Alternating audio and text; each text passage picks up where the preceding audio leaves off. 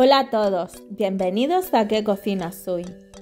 Tenía ganas de probar el marisco en la freidora de aire.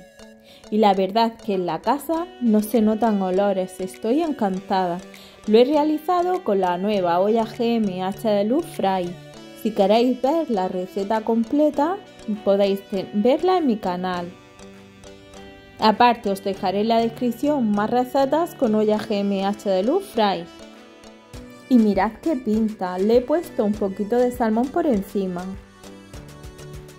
Y he hecho aparte esta receta con el marisco de la freidora, que queda jugosito como podéis ver. Y madre mía, cuánto sabor. De escándalo.